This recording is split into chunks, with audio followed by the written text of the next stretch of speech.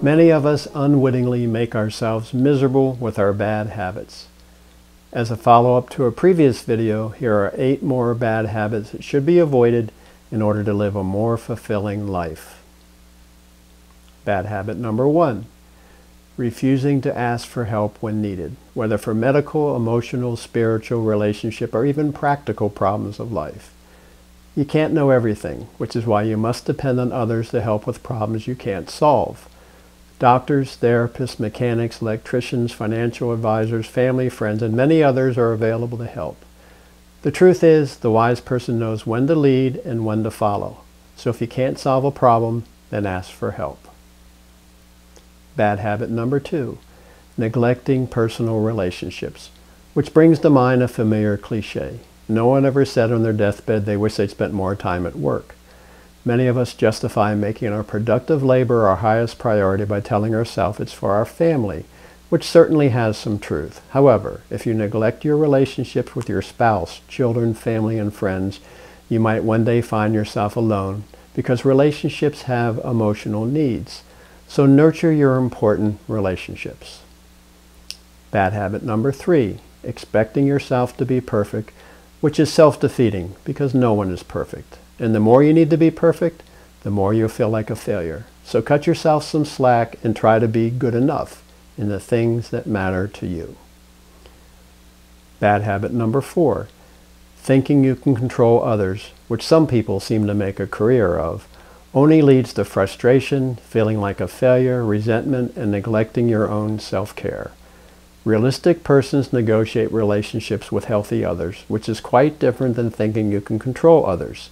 So stop trying to control other people and learn to negotiate with them. However, you must also recognize that some people, such as active alcoholics, are incapable of negotiation. So all you can do is act unilaterally by setting healthy boundaries. Bad habit number five, ruminating about the past or future. Yes, we should strive to learn from the past and plan for the future. However, becoming stuck and ruminating about the unchangeable past and the uncertain future robs us of life itself, which only exists in the here and now. If you chronically live in such rumination, then you can never fully be present for your family, friends, and life itself. So practice mindfulness, which means keeping the focus on what's right before your very eyes, your loved ones, your well-being and health, and life itself. Bad habit number six, tying your serenity to goals or things you cannot control. People often tell themselves that they can't be happy until they have the right job, perfect house, nicest car, or best partner. It certainly is good to try to improve your situation, but don't tie your happiness to the outcomes. Instead, try to maintain your serenity and appreciation for what you have even while working towards your goals.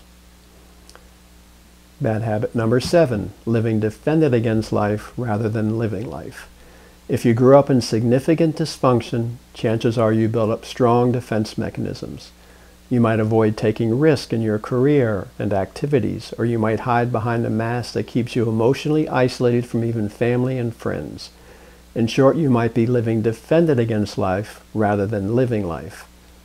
The solution lies in understanding that as a child you were powerless to change your environment or protect yourself. But now, as an adult, you have the power to step outside your comfort zone, take risk, and be open to the wonders of love and life.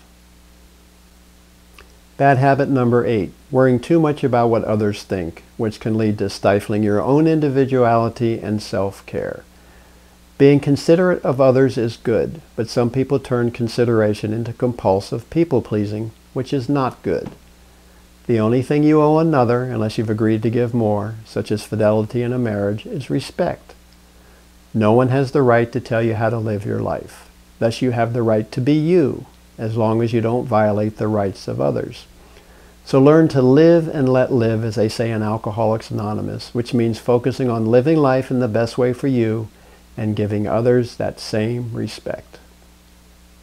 If you'd like help breaking bad habits that are making you miserable, then visit my website, serenityonlinetherapy.com, to learn more about me and the online services I provide.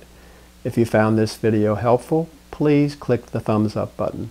And if you want to hear more from me, then click the subscribe button at the bottom right corner of the screen. I'll be publishing at least one new video every month. And finally, keep paying attention to your life. Until next time.